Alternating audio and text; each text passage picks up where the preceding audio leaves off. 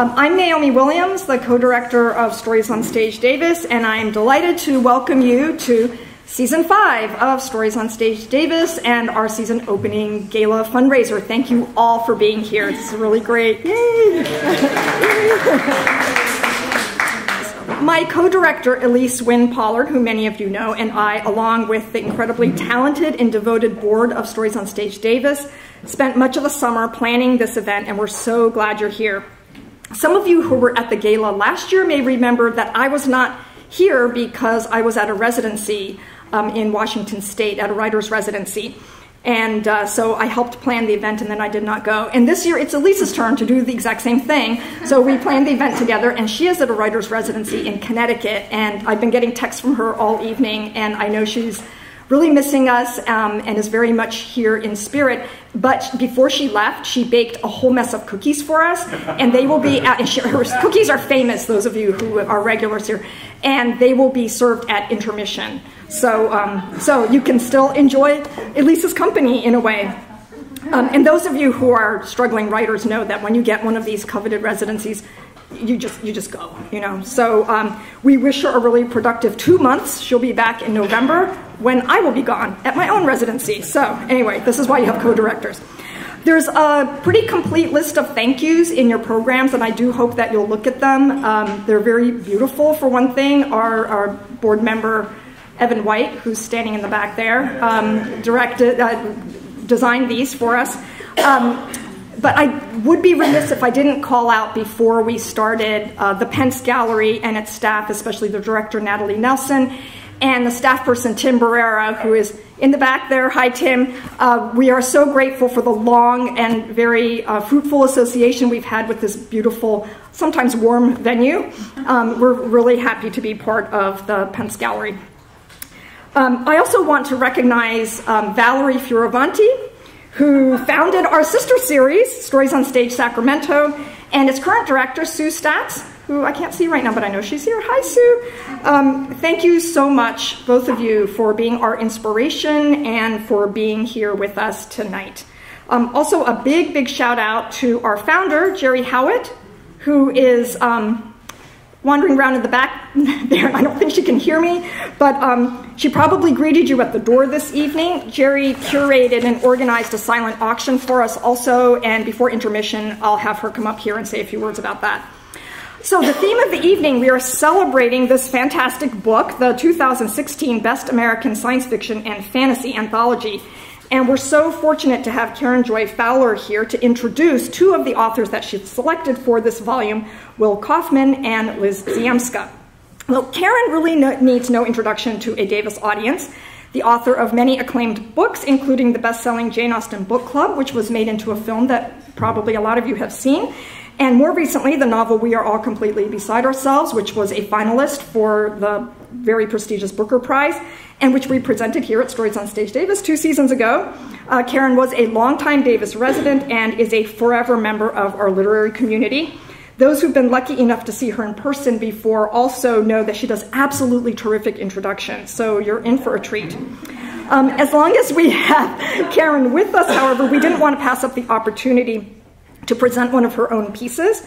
We selected a very short story called The Black Fairy's Curse, um, which she also allowed us to abridge a little to fit our um, schedule. And actually, all the writers tonight allowed me to abridge their pieces to fit our schedule. So, so thank you.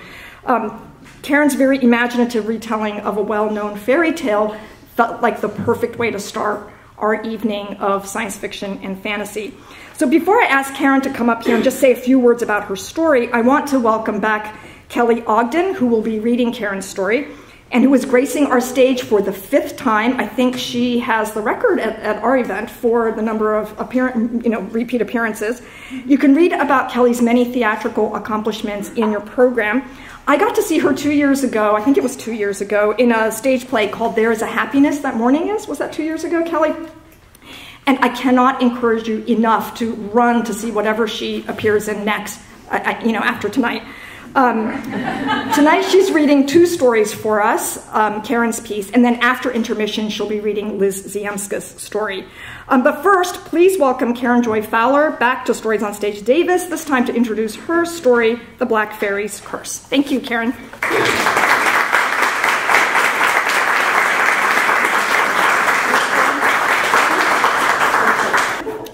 Thank you so much for being here, and thank you Naomi, and everybody involved with um, Stories on Stage, and everybody involved with the Pence Gallery. And Kelly, thank you so much. Um, I'm very appreciative of the good care Davis always takes of me when I come. Um, the story that is going to be read tonight, uh, I think um, I wrote a while ago, so I have to cast my mind back to try to remember what I was thinking uh, at the time. But I'm pretty sure that I had just been told that you could never, ever, ever end a story with she woke up and it was all a dream. And um, I think uh, I speak for all the writers in the crowd when I say, don't tell us we can't do something. I think the minute I heard that, I thought that will be the ending of my very next story. So here it is.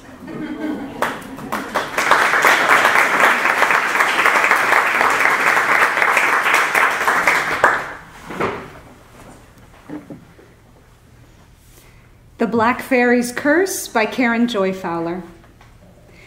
She was being chased. She kicked off her shoes, which were slowing her down. At the same time, her heavy skirts vanished, and she found herself in her usual work clothes. Relieved of the weight and constriction, she was able to run faster. She looked back. She was much faster than he was. Her heart was strong. Her strides were long and easy. He was never going to catch her now. She was riding the huntsman's horse, and she couldn't remember why. It was an autumn red with a tangled mane. She was riding fast. A deer leapt in the meadow ahead of her. She saw the white blink of its tail. She'd never ridden well, never had the insane fearlessness it took, but now she was able to enjoy the easiness of the horse's motion. She encouraged it to run faster. It was night. The countryside was softened with patches of moonlight. She could go anywhere she liked, ride to the end of the world and back again. What she would find there was a castle with a toothed tower. Around the castle was a girdle of trees, too narrow to be called a forest, and yet so thick they admitted no light at all. She knew this. Even farther away, were the stars. She looked up and saw three of them fall, one right after the other. She made a wish to ride until she reached them. She wore a cloak which, when she wrapped it tightly around her, rode up and left her legs bare. Her feet were cold. She turned around to look. No one was coming after her. She climbed into an aspen tree. She regretted every tree she had never climbed. The only hard part was the first branch. After that, it was easy, or else she was stronger than she'd ever been, stronger than she needed to be. This excess of strength gave her a moment of joy as pure as any she could remember. She went as high as she could, standing finally on a limb so thin it dipped under her weight like a boat. She sat with her back against the trunk and one leg dangling. No one would ever think to look for her here.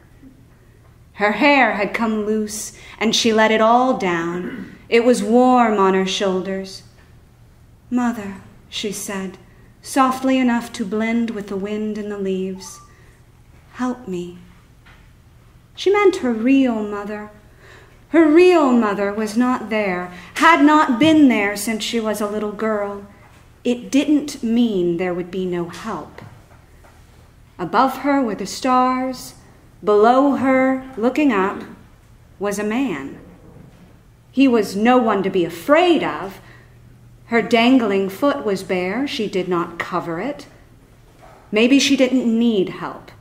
That would be the biggest help of all. Did you want me? he said. She might have known him from somewhere. They might have been children together. Or did you want me to go away? They went swimming together, and she swam better than he did. She watched his arms, his shoulders rising darkly from the green water. He turned and saw that she was watching. Do you know my name? he asked her. Yes, she said, although she couldn't remember it. She knew she was supposed to know it, although she could also see that he didn't expect her to. Does it start with a W? she asked. The sun was out. The surface of the water was a rough gold. What will you give me if I guess it? What do you want? She looked past him. On the bank was a group of smiling women her grandmother, her mother, and her stepmother, too, her sisters and stepsisters, all of them smiling at her. They waved. No one said, Put your clothes on. No one said, Don't go in too deep now, dear. She was a good swimmer, and there was no reason to be afraid. She couldn't think of a single thing she wanted. She flipped away, breaking the skin of the water with her legs. She surfaced in a place where the lake held still to mirror the sky. When it settled, she looked down into it. She expected to see that she was beautiful, but she was not. A mirror only answers one question, and it can't lie. She had completely lost her looks she wondered what she had gotten in return. She was healthy. She was strong. If she could manage to be kind and patient and witty and brave, then there would be men who loved her for it. There would be men who found it exciting. He lay among the blankets, looking up at her. Your eyes, he said. Your incredible eyes. His own face was in shadow, but there was no reason to be afraid. She removed her dress. It was red. She laid it over the back of a chair. Move over. She had never been in bed with this man before, but she wanted to be. It was late, and no one knew where she was. In fact, her mother had told her explicitly not to come here, but there was no reason to be afraid. I'll tell you what to do, she said. You must use your hand and your mouth, and I want to be first. You'll have to wait. I'll love waiting, he said. He covered her breast with his mouth. His hand moved between her legs. He knew how to touch her already. He kissed her other breast. Like that, she said, just like that. Her body began to tighten in anticipation. He kissed her mouth. He kissed her mouth. He kissed her mouth. It, it, was not a hard kiss, but it opened her eyes. This was not the right face.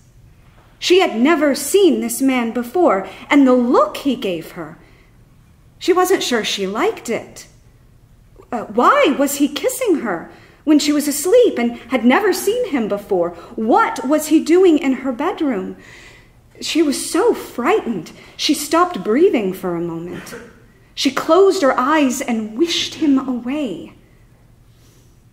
He was still there, and there was pain.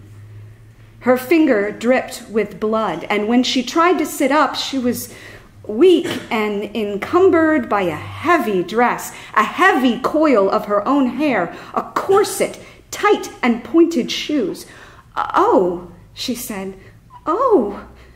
She was about to cry, and she didn't know this man to cry before him. Her tone was accusing. She pushed him, and his face showed the surprise of this. He allowed himself to be pushed. If he hadn't, she was not strong enough to force it.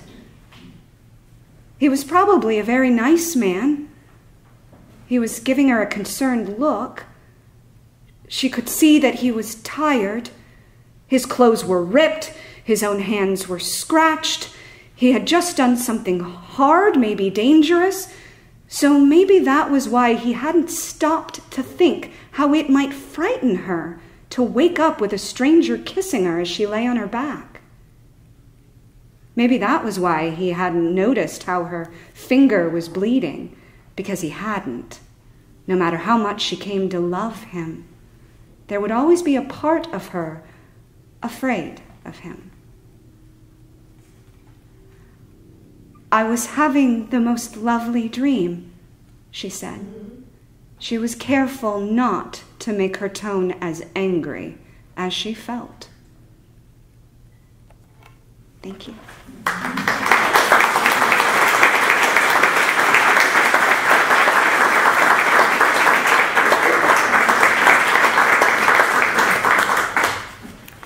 Thank you so much, Kelly. Our next reader will be Phillip Larrea, making his third appearance with us. Philip is a man who wears a variety of hats in the local literary scene, all with great flair and warmth. He's a published poet, runs his own literary series in Sacramento, publishes the annual Sac Voices anthology, and lends his voice talents to events like ours. We're so glad he's back to read Things You Can Buy for a Penny by Will Kaufman, an author I'm particularly pleased to introduce tonight. The pleasures of the writing life can seem few and infrequent, indeed, right? But for me, one of the abiding pleasures turns out to be seeing the work of writing friends and fellow travelers get the publication and recognition they deserve. Um, when the this Best American book, and I, I, think Karen, you have my copy actually, when because um, I came up here with that. It's okay, I'll get it later. When um, when that when, well, I want you all to sign it, so it's okay if you hang on to it. Um, when that Best American came out last year, I wandered into the Avid Reader and opened the table of contents, as one does, to see who was in it. And there, listed on the same page as Salman Rushdie, was my UC Davis classmate, Will Kaufman. His work has just gone from strength to strength in the decades since we both earned our master's degrees down the road. I can't wait to see what he does next. We're going to ask him to come up and tell us a little about his story, but first let's hear from Karen about her selection of things you can buy for a penny for the Best American Anthology. Thanks.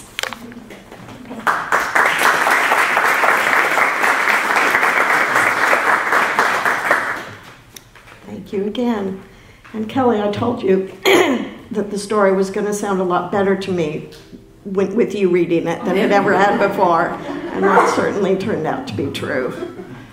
Um, the way the selection process worked, first of all, I should say that I feel I feel awkward about the best of title. I think you know a more honest title would be Karen Joy Fowler's favorite stories from last year, um, which is not exactly the same thing, much as I might wish it were. Um, but the way the selection process worked was um, John Joseph Adams is the permanent editor of the collection, and there's a guest editor every year.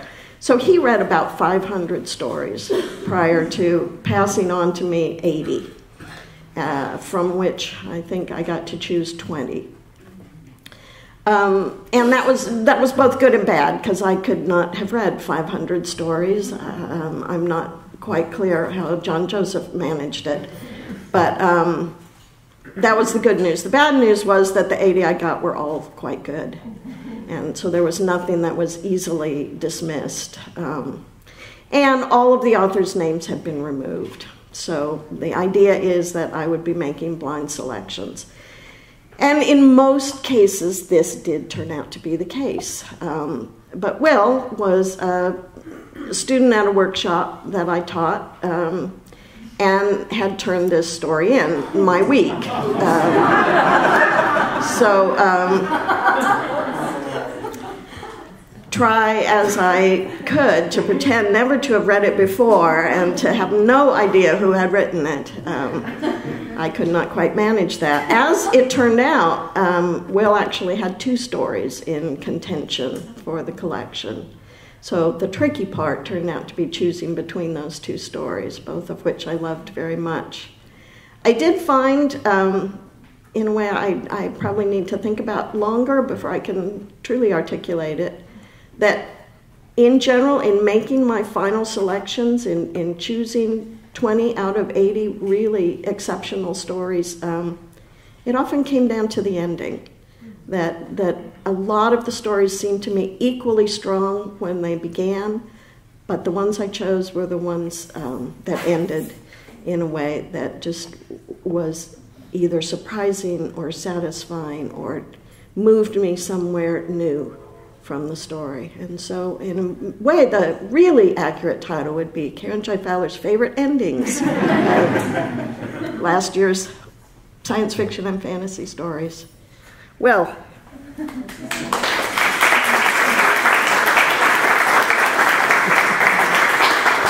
Thank you. Uh, I'm really pleased to be here, and thank you so much, Karen, for teaching that workshop um, and then selecting the story, and Naomi for having me. Um, I'll let the story speak for itself uh, for the most part. Um, so, what I'll say about it is that I think for me, the story is a great example of, of two truths of writing. One is the importance of a great community. Um, this story came out of the Clarion workshop where I had a fantastic community of other writers who were incredibly supportive to work with, uh, and it was through conversations with them and, and through just the, the wonderful inspiration they provided that, that this story came about. Uh, and the other part uh, is it's also a testament to just sort of sitting down to doing the work, even if you're not entirely sure what you're going to do. Um, this was a six week workshop and we could turn in a story every week and i had signed up to do so and had no clue what i was going to turn in and literally sat down the night before uh, until something happened. Um, so i think those are both good truths for any writer. Have a good community and sit down every time to just try and do the work. Uh, so thank you very much. I'm excited to hear this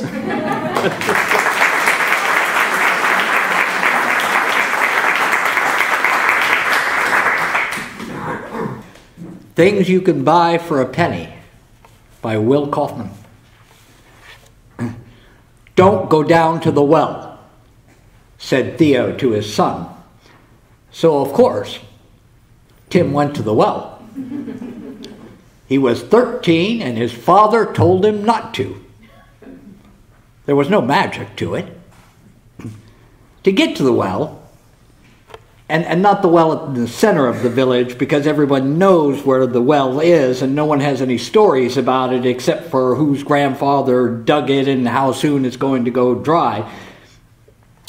You've got to go around to the butcher's, to the bottom of the muddy slope at the edge of the wood that the butcher says he doesn't throw his offal down.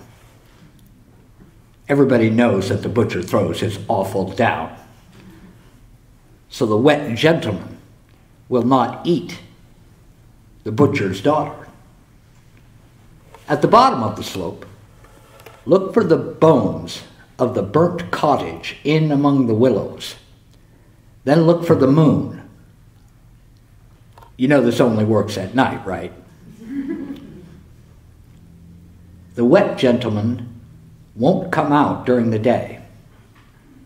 Walk towards the point halfway between the moon and the cottage, and eventually you'll come to the well. Tim sneaked from his father's house with a penny in his hand and his dog at his side, a dog that he loved because it would never lie to him or trick him, that he would play with even when the other children invited him to join their games because when he told the other children to follow him or wait for him, they would laugh and run away, but not his dog. When his father talked, tucked him into bed, it was his dog he asked for a last kiss goodnight. Its cold nose snuffling at his cheek because his dog never told him what to do or sent him to bed without his dinner for not minding. Because what do dogs know? Maybe if Tim had been a king or a god, he could have loved the other children or his father. What happened to Tim when he went to the well? You must know how the story ends, or rather, that it never ends. Surely you've heard about the others who went to the well, like Ma Tathers. When Ma Tathers went to the well, she got just what she paid for. She heard about the well because of what happened to Miser Horton. So she knew that the wet gentleman lived there and would grant wishes if he were paid a penny. Miser Horton went because he knew the story of little Suzanne, and both of them got just what they paid for, too. The story says Ma Tathers was so old when she walked the path between the moon and the burnt up cottage that her dugs dragged in the dirt. That's not a kind way to describe an old woman, but stories are seldom kind, especially to poor women in tattered housecoat, which was her only coat which she wore thinner and thinner as she sat day after day patching up other people's clothes for pennies. Her eyes were milky, and she had to bring the cloth and the needle right up to her mottled nose to see what she was doing. Her grandsons, who she was raising because their parents had died, would say to her, Don't stick that needle so close to your eye, Grandma. You'll poke it out one day, it'll fall right out. That's no trouble, Ma Tathers would say. I always got the other one. what she meant was, if my eyes were worth a few pennies, I'd sell it right from my head. Even though Ma Tathers had heard the stories, the same stories you've heard, and knew better than to think she could trust the wet gentleman. She did not know what else she could do.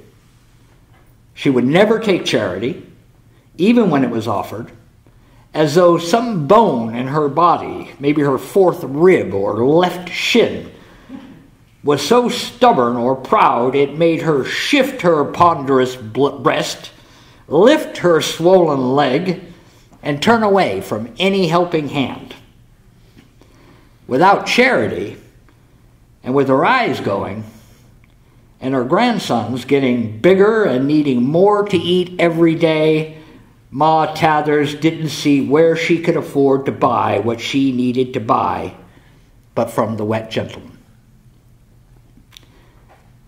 The day she decided she would go to the well, Ma Tathers worked as fast as she could, the needle fleet in her crooked fingers. She stitched up every shirt and every pair of pants she could coax from the villagers. But that night she had fewer pennies than she'd earned the day before.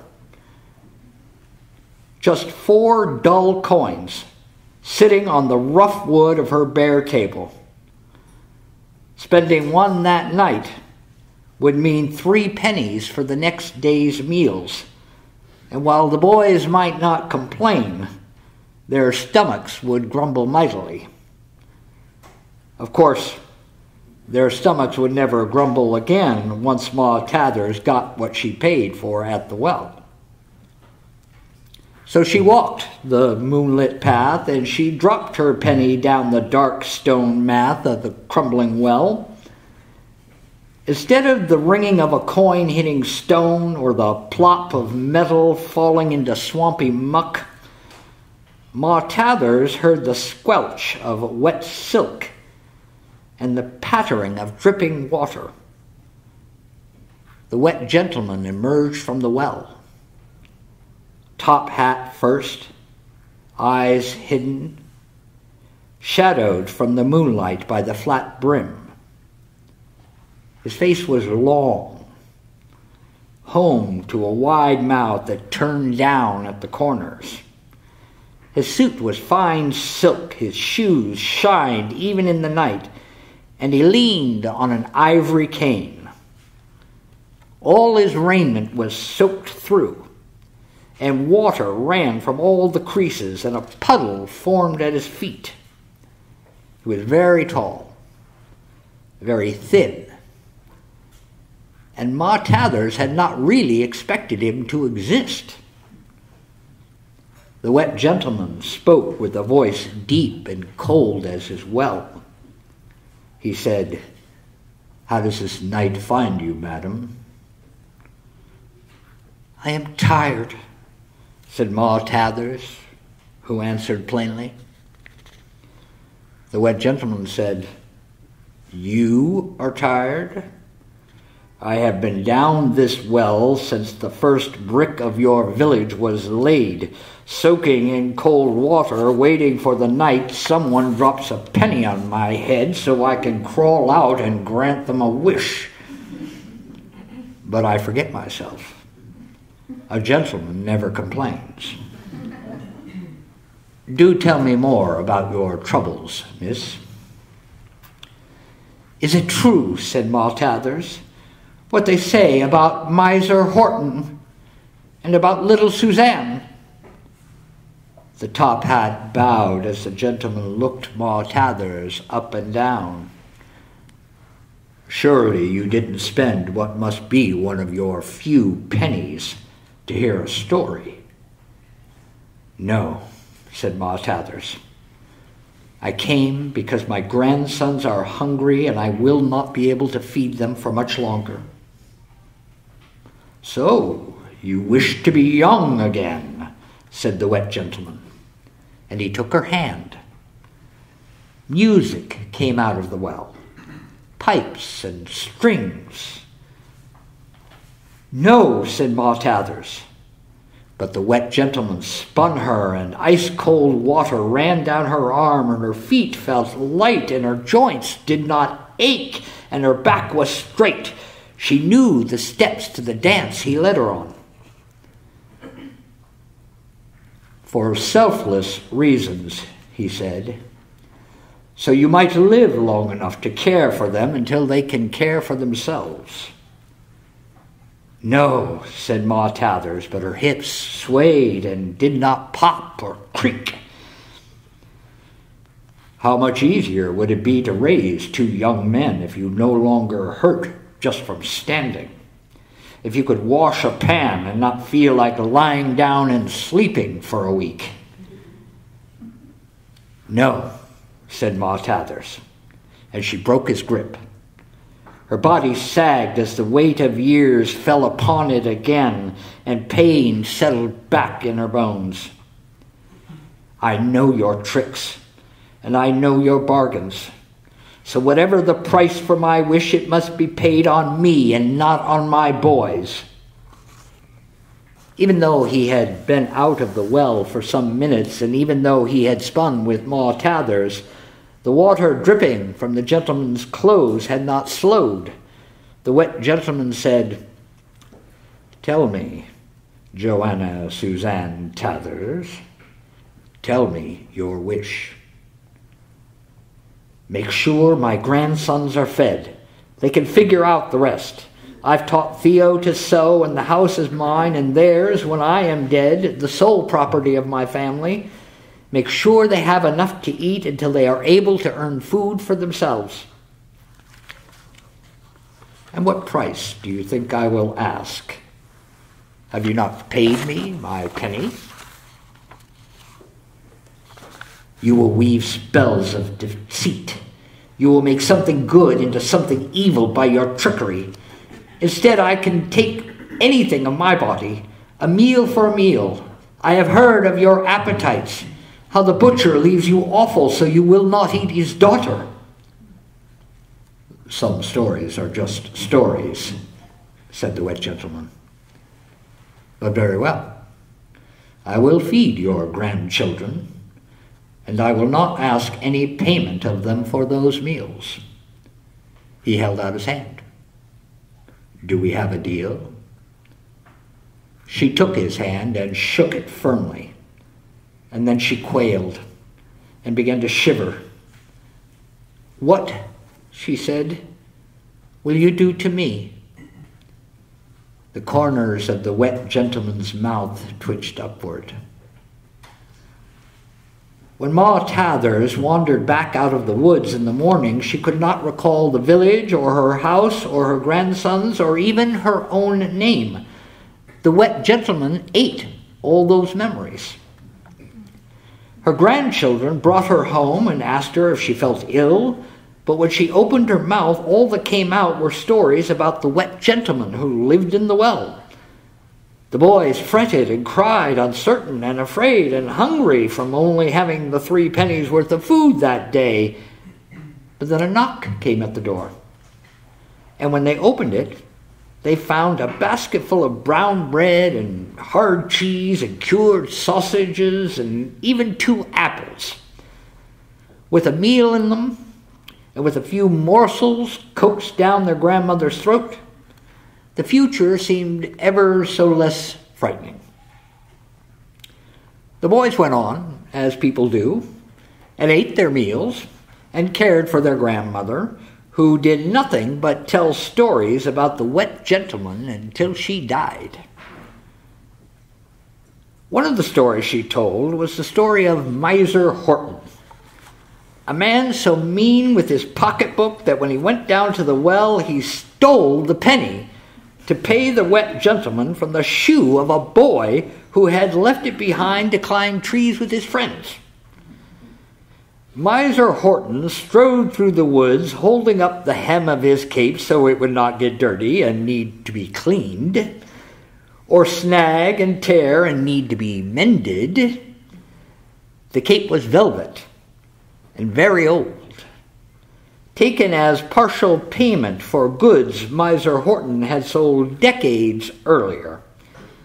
He would proudly tell you the story of that deal if you asked, and maybe even let you touch the cape in question.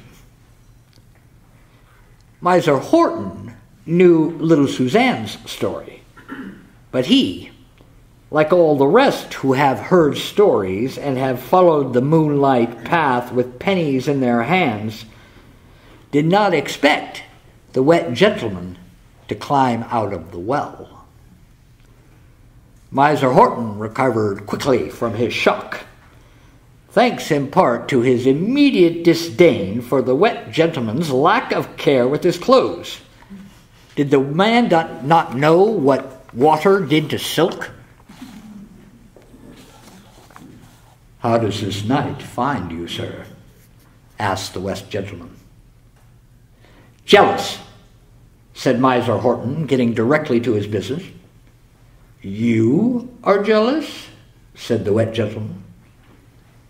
I have been down this well since the oldest tree in these woods was just a sapling in the cold and wet and dark, while above me people live in warmth and dry comfort, and I only get to visit when someone drops a penny on my head, but I forget myself.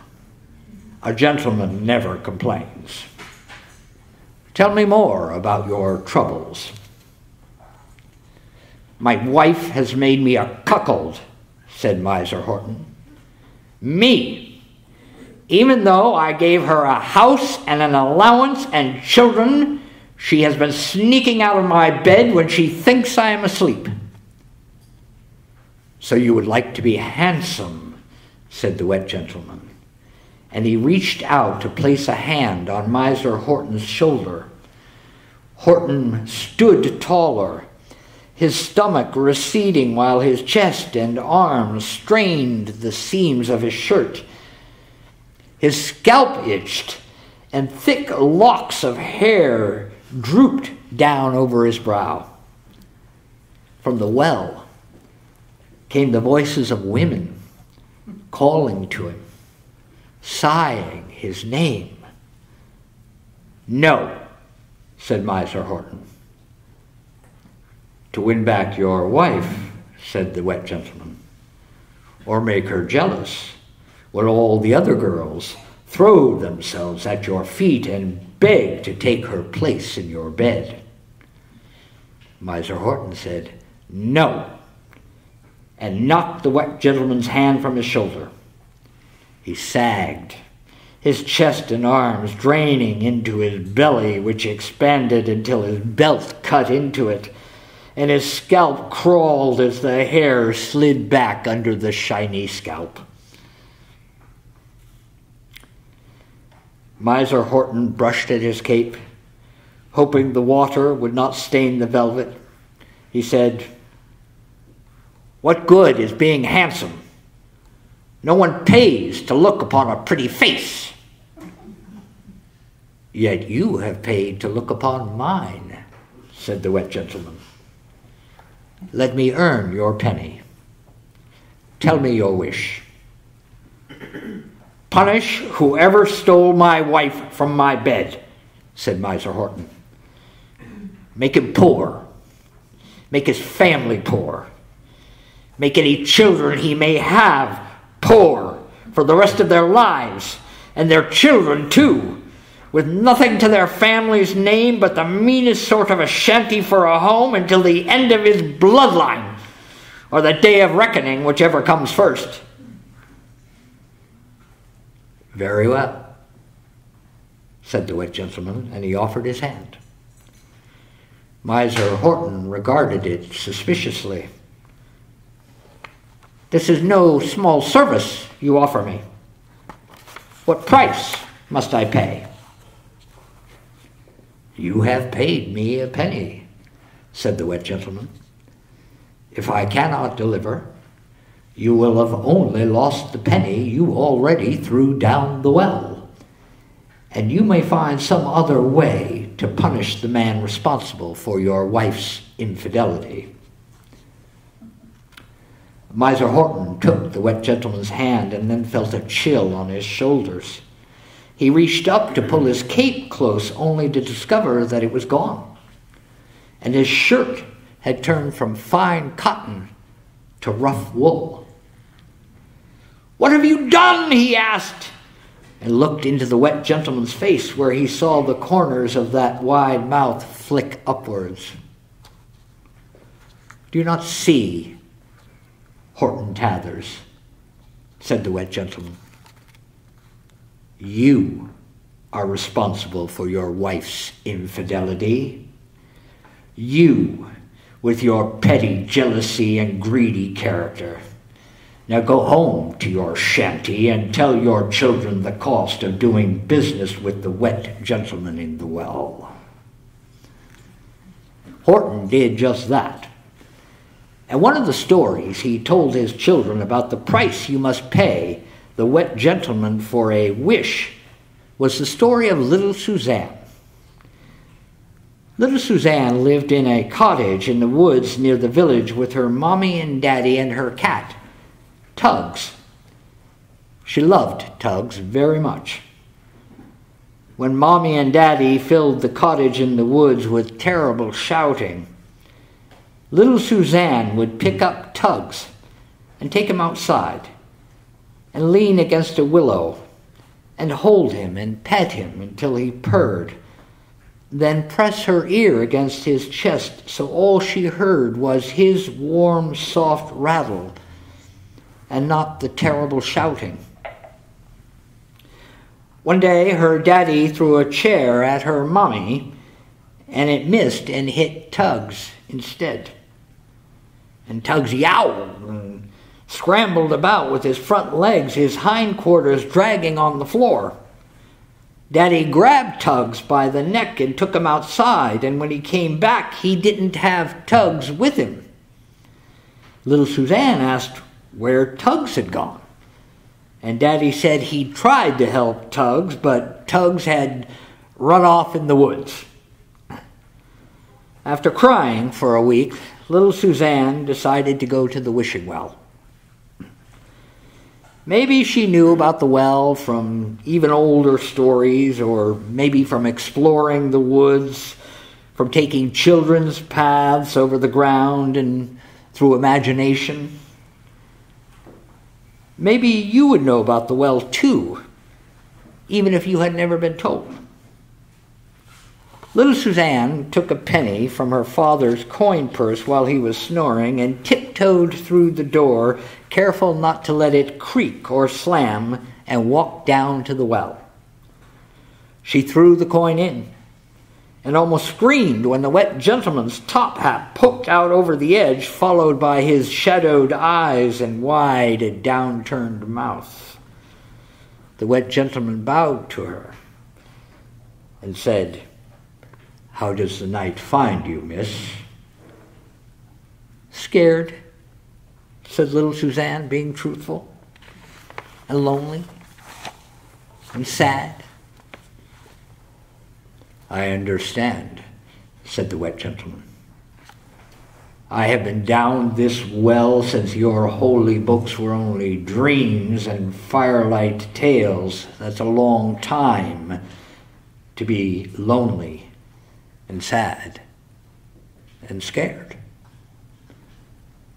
You're very wet, said little Suzanne. Would you like me to bring you some clothes? My daddy has three shirts and he might not miss one. That is very kind of you, said the wet gentleman. But it would only get wet again, because I must go down the well once I grant your wish. oh, said little Suzanne. If I don't make a wish, can you stay up here? That is not the way the story goes, Susanna Joanna Smythe, said the wet gentleman. I must tell you that a gentleman never complains, and you must tell me your wish. Little Suzanne tucked a toe into the dirt and mumbled something under her breath. You are scared. I understand that, said the wet gentleman. Would you like to be a grown up so you can be brave and sure like your mommy and daddy? He knelt down in front of her and took her hand in his, and she grew, and her hips and breasts swelled, and she stood down, looking at the wet gentleman, kneeling and holding her hand. No, she said. You can leave your parents' home and find a man to marry and live with him and never be lonely or scared again. Little Suzanne felt something else. She felt a stirring inside of her that was hot and safe and terrifying and awesome and hopeful and fearful all at the same time. From the well came the sound of a babe crying for its mother. No, she said, as she pulled her hand free. She shrank back into childhood until her eyes were level with the kneeling gentleman, water dripping from his hat and from his jacket, and the corners of his mouth twitched downward even further. I want Tugs back, she said. I want him to purr to me and keep me company until I die, and. Yes, said the wet gentleman. And I want Mommy and Daddy to stop fighting. Two wishes, said the wet gentleman, standing so that he towered over little Suzanne. Have you brought two pennies? No, said little Suzanne. Do I have to choose? The wet gentleman tilted his head back and considered the stars through the leaves of the trees. You do not have to choose, he said at last. One wish will be yours, and one will be mine. You shall have your cat, and your parents will fight no more. Thank you, said little Suzanne, and she hugged the wet gentleman round his legs, which were stick thin and hard as rocks inside his suit, and she got all wet up the front of her nightclothes. Thank you, said the wet gentleman, for the penny. Now go home. As she walked home, little Suzanne saw a flickering orange glow through the trees. She heard a roaring, a snapping and popping. She smelled wood smoke and something else, something oily and black, like when Mommy burned the bacon. Her house was on fire, and the heat singed her hair and dried her nightclothes. As she watched the house burn, Tugs stalked out from the woods and twined himself around her legs. She picked him up and held him to her ear. But even though she could feel the shudder of his purring, all she could hear was the fire. That's how the villagers found little Suzanne when they ventured into the woods to investigate the fire. A family took her in and she grew up in the village, always with her ageless cat at her feet or in her arms, and she married a good man with kind hands and a sharp mind. And one day, she felt the stirring inside of her and remembered looking down at the wet gentleman on his knees at her feet and knew she was pregnant.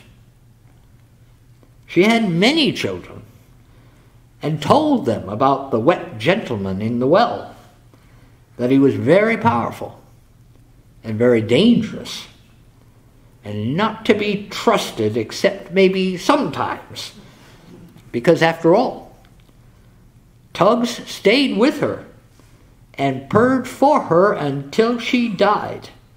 Whereupon he climbed onto her still chest, turned round three times, and curled up and died as well, and was buried with her.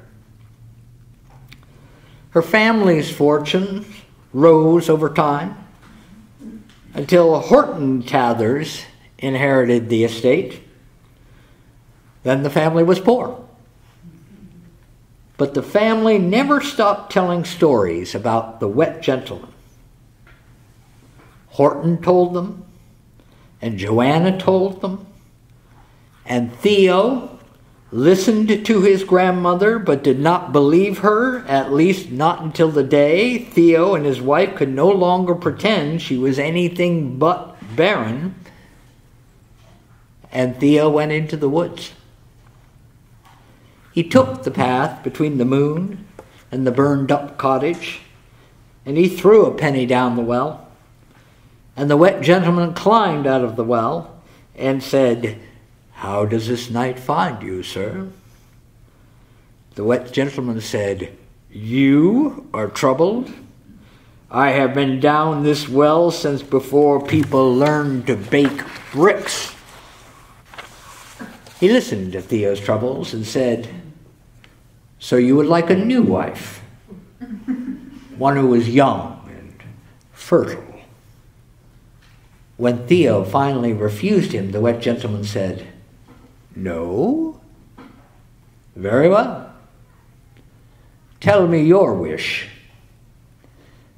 And the wet gentleman said, I see you've paid attention to the stories, but you mustn't worry. All I really want is a penny now and then, and I know I'll have another soon enough when your son comes to visit me. Theo went home, frightened, doubtful, half convinced it had been a dream, and in a few months his wife woke up and ill and felt the stirring inside her. When their son was born, they named him Timothy, and Theo told Tim the story of little Suzanne and of Miser Horton and Ma Tathers. Theo told his son these stories to warn him, so the boy would know better than to ever go down to the well. Tim said, Why did none of them simply wish for the wet gentleman's power? You could do whatever you want, and you'd only ever owe yourself and you wouldn't ever do anything bad to yourself or trick yourself. And Theo took hold of his son's hands and said, Don't go down to the well. you already know what will happen next. And you could leave this story while Tim sneaks down to the butcher's, his loyal dog at his side, and a penny in his hand. You can leave while the wet gentleman waits in the place that exists beneath the mouth of the well, his face split by a grin. You can leave this story while the wet gentleman thinks about the many pennies he has gathered pennies that are copper, pennies that are bronze, pennies that are small shells or glittering stones. And how long, how long has it been since he went down to the well? A boy clutching something that once upon a time stood for a penny. He has grown so much since then and worn the finery of so many ages. And through all that time, he has remained a gentleman. Soon, soon he will be a boy again. A boy who will very much hate taking baths. And you, you who get exactly what you pay for, there may always be some other wet gentleman waiting for you to throw your penny into the well. But you can leave any time you want. There is no magic to that. Thank you.